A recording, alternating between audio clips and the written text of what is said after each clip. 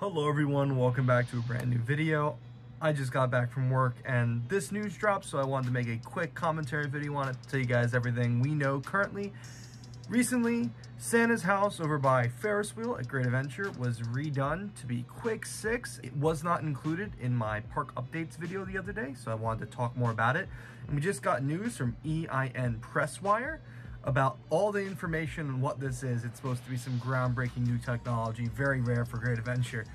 And actually it looks really cool, so let's jump right in.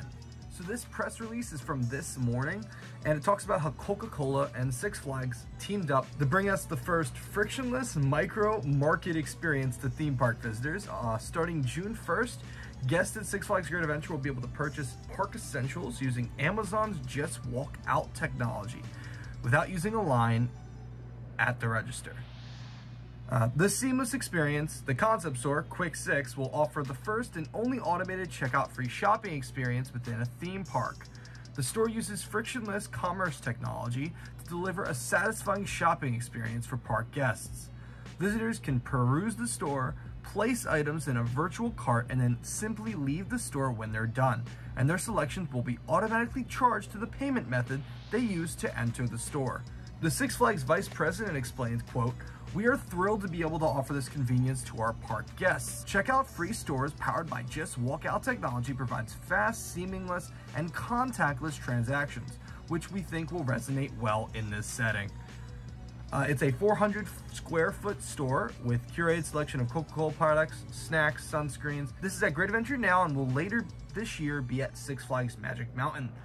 It's a really cool idea and it's really bringing new things to Great Adventure that none of us asked for, but is really unique and nice to see from the company as they don't have a very big reach when it comes to innovating. Six Flags is hosting a media day June 1st for this. We'll find out more then. Uh, I am going to be at Wildcats Revenge Media Day uh, on Thursday, so I will not be a Great Adventure to experience this, but I'll have to go Friday to check it out myself.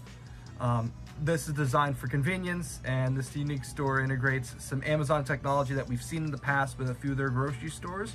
Pretty much you pull up a phone app, you put in your information, you scan in, and it actually realizes you're in the store, you add things to your phone cart, you scan it, barcode, and then when you exit, the RFID chips in your phone signals another exit door, and it tells it that you left, you had these items in your cart, and it will charge you for it. It's not the most unique technology, um, but it is the first in a theme park, and Amazon has still been testing it around the globe. So we don't know how well it's gonna work yet, but it's still exciting to see. So let me know what you guys think in the comments down below. I look forward to reading what you have to say, and I'll see you guys in the next one. Peace.